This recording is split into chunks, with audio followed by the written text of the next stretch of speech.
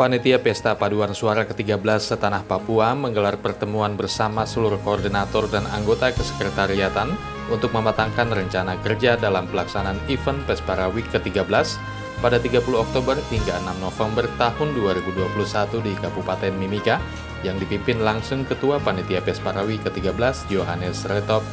Penyatuan persepsi serta pematangan kepanitiaan di berbagai bidang yang telah terbentuk pun dilakukan dan terus evaluasi sedetail mungkin sebagai bentuk upaya untuk menyukseskan Pesparawi ke-13 setanah Papua sebagai bentuk pelayanan kepada Tuhan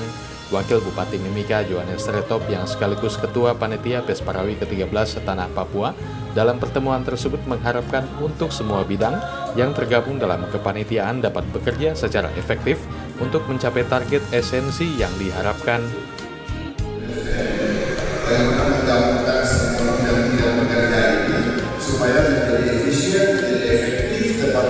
waktu,